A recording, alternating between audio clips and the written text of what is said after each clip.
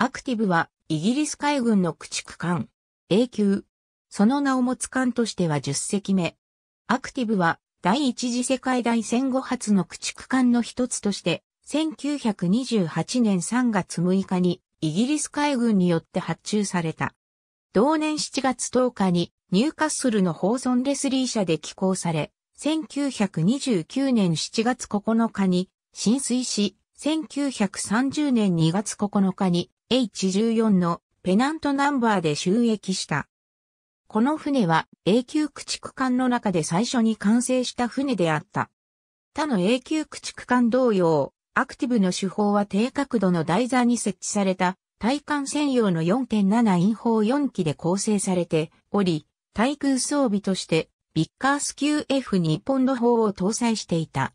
21インチマーク V という魚雷を搭載するために、二つの世へ台座に21インの魚雷発射管を合わせて8本設置された。当初はソナーは設置されておらず、後に搭載できるように準備は行われた。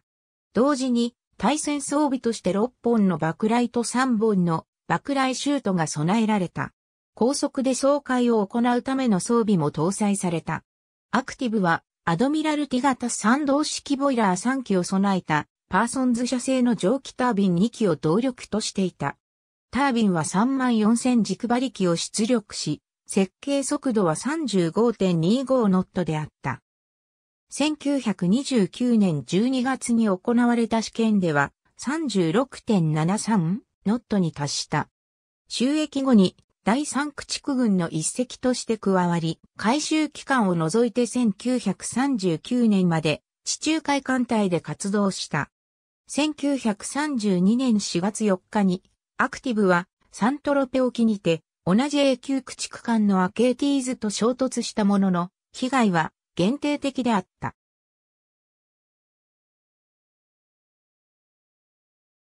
1936年6月には、パレスチナ独立戦争に対応するために、パレスチナ沖を巡回し、スペイン内戦発生後は、1936年9月から1937年1月までスペインの海域を巡回した。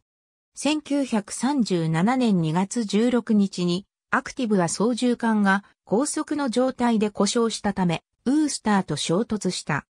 今回の被害は深刻であり、アクティブは同年6月までマルタにて修理され、その後、1938年10月にマルタの予備軍に配属されるまで第二駆逐軍に配属された。第二次世界大戦が勃発すると、ジブラルタルを拠点とする第十三駆逐軍に配属され、その後 H 部隊に配属された。1940年にはカタパルト作戦に参加し、メルセルケビールでフランス艦隊と戦った。1941年にはビスマルク追撃戦に参加している。1942年、アクティブはマダガスカルの戦いに参加。その際、5月8日にアクティブと駆逐艦パンサーは空母インドミタブルを攻撃したフランス潜水艦モンジュを撃沈した。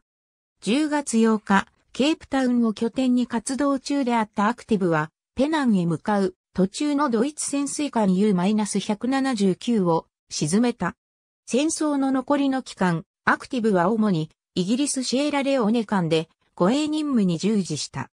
1943年5月23日、フィニステレ岬西方沖でアクティブとフリゲートネスはイタリア潜水艦レオナルド・ダ・ヴィンチを沈めた。また、アクティブは1943年11月2日にタンジール付近でドイツ潜水艦 U-340 を沈めた。アクティブは1947年5月に退役し、スクラップとして売却された。ありがとうございます。